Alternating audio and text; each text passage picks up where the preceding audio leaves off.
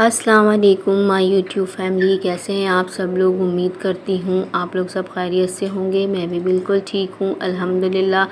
आज हम अपने किचन में बनाएँगे मसाले वाला पुलाव। ये बहुत डिफरेंट पुलाव है और बहुत टेस्टी बनता है। इसकी रेसिपी भी बहुत चेंज है। आप लोग बनाइएगा और इसे इंजॉय कीजिएगा। तो चलिए रेसिपी स्टार्ट करते हैं। बिसमीम आप लोग ये सोच रहे होंगे, ये किस तरह का प्याज, अदरक और लहसुन है? अच्छा मैं आपको सबसे पहले ये बताती चलूँ कि मैंने यखनी बनाई थी। सिंपल यखनी जैसे हम चढ़ाते हैं। लहसुन, अदरक, प्याज डाल के उसमें मैंने एक, दो बादियान के फूल डाल दिए थे, दालचीनी डाल दी थी। टू टेबल स्पून मैंने उसमें सौंफ डाल दिया था और टू टेबल स्पून मैंने उसमें धनिया डाल दिया था, नमक शामिल कर दिया था, ये सामान डाल के मैंने यखनी चढ़ा दी। यखनी मेरी बन के तैयार हो गई थी तो मैंने इसको अलग कर लिया, अदरक, लहसुन, प्याज को। अच्छा यहाँ मैंने ले लिए हैं टमाटर, दो मैंने लिए हैं यहाँ टमाटर। और चार से पाँच मैंने ली हैं बड़ी वाली हरी मिर्चें। अच्छा आपने छोटी वाली हरी मिर्चें नहीं लेनी, बड़ी वाली हरी मिर्चें लेनी, क्योंकि इसके बाद हमने इसमें पिसी हुई मिर्चें शामिल करनी हैं। डेढ़ टी स्पून हल्दी इसमें हम शामिल करेंगे, आधा टीस्पून सॉल्ट आप अपनी मर्ज़ी के मुताबिक कम या ज़्यादा कर सकते हैं, ठीक है? और यहाँ पर मैंने गरम मसाला ले लिया है, दो बड़ी इलायची, दार चीनी के दो तीन पीस ले लिए, बादियान के फूल ले लिए, उसके बाद काला ज़ीरा मैंने इसमें ले लिया है। और आप छोटी इलायची भी ले सकते हैं और मैंने इसमें लौंगे भी ली हैं और काली मिर्चें भी, वो फिल वक्त आपको नज़र नहीं आ रही क्योंकि सब मिक्स हो चुका है। यहाँ पर मैंने ले लिया है आधा पा पाव से ज़्यादा दही है, ठीक है? आधा पाव से ज़्यादा मैंने इसमें दही ले लिया है। अच्छा यहाँ पर देखें मैंने जो यखनी बनाई थी तो ये उसमें से गोश्त निकाल लिया है। ठीक है, ये पूरा गोश्त जो है पक्के तैयार हो चुका है, क्योंकि मैं आपको सब कुछ दिखा चुकी हूँ क्योंकि यखनी बनाने में वो सेम प्रोसीजर है जो आप लोग भी बनाते हैं।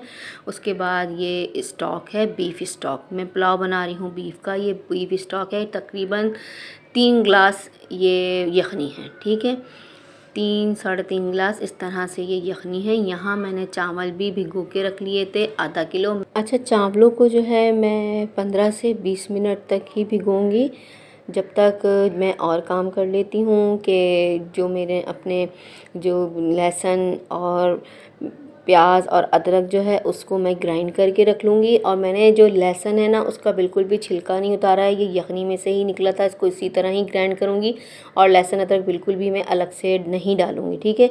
ये टमाटर और हरी मिर्चें हैं, इनको भी मैं एक साथ ग्राइंड करके रख दूँगी क्योंकि मसाले वाला पुलाव है और बहुत टेस्टी बनता है। यहाँ ले लिया है मैंने एक बर्तन, अब इसके अंदर मैं डालूँगी हाफ़ कप से कम घी। अगर मुझे और ज़रूरत होगी तो मैं और डाल लूँगी क्योंकि इसलिए हमारे स्टॉक में में भी घी था, क्योंकि बीफ के अंदर तो काफ़ी चिकनाई होती है तो उसके अंदर भी घी आ जाता है। और अगर आप लोगों ने ऑयल यूज़ करना है तो आप लोग ऑयल भी यूज़ कर सकते हैं।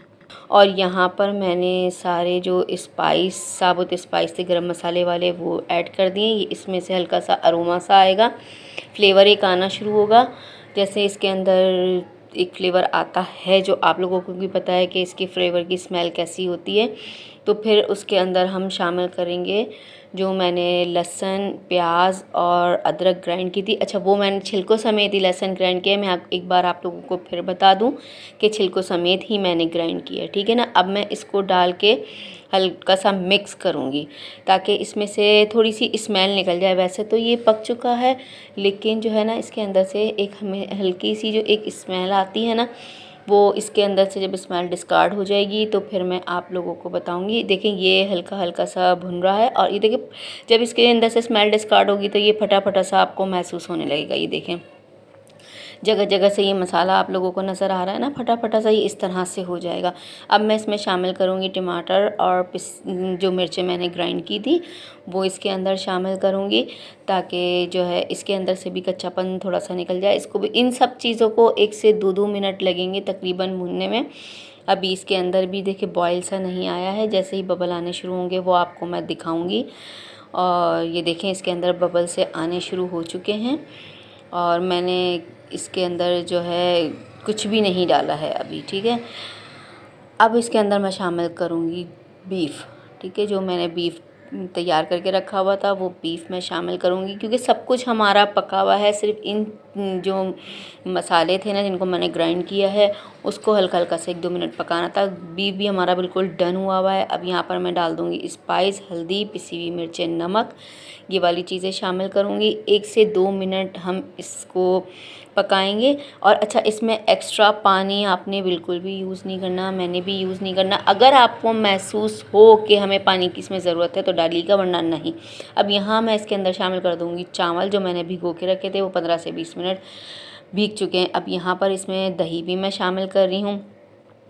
अब इसके बाद मैं इसके अंदर शामिल करूँगी यखनी, ठीक है? जो मेरे पास यखनी थी, वो इसके अंदर मैं शामिल करूँगी। रेसिपी अच्छी लगी हो तो सब्सक्राइब करें, बराबर में दिए बेल आइकन को प्रेस करें ताकि हर नई आने वाली वीडियो आपको सबसे पहले मिले। यहाँ देखें, मैंने चावलों को बहुत अच्छे से मिक्स कर दिया है। अब मैं इसको उबाल आने तक कवर करके ढक के रख दूँगी, ठीक है? तकरीबन पाँच से आठ मिनट तक। पाँच से आठ मिनट हो चुके हैं, मैं कवर हटा के चेक कर रही हूँ। ये देखें कितने ज़बरदस्त इसमें बॉयल आ रहा है।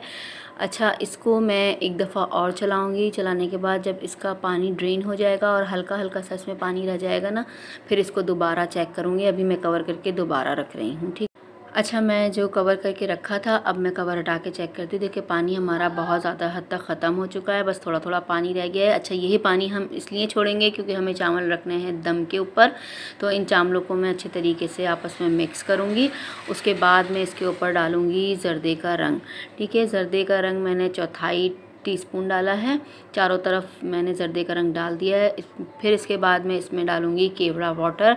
केवड़ा वाटर मैंने एक से दो टेबल स्पून इसके ऊपर डाला था और इसी ही उसमें मैं इसको दोबारा कवर करके रख दूँगी दस से पंद्रह मिनट के लिए दम पर और फिर जैसे ही दम पर आएँगे तो फिर हम आपको डिश आउट करके दिखाते हैं। ये देखें हमारा पुलाव कितना बेहतरीन सा तैयार हो चुका है। कितने खिले खिले हमारे पुलाव के चावल बने हैं और आप इसको बनाएँ और इन्जॉय करें और मुझे फ़ीडबैक दें लाइक करें शेयर करें कमेंट्स करें। मिलते हैं फिर किसी नेक्स्ट वीडियो में किसी और रेसिपी के साथ। अल्लाह हाफ़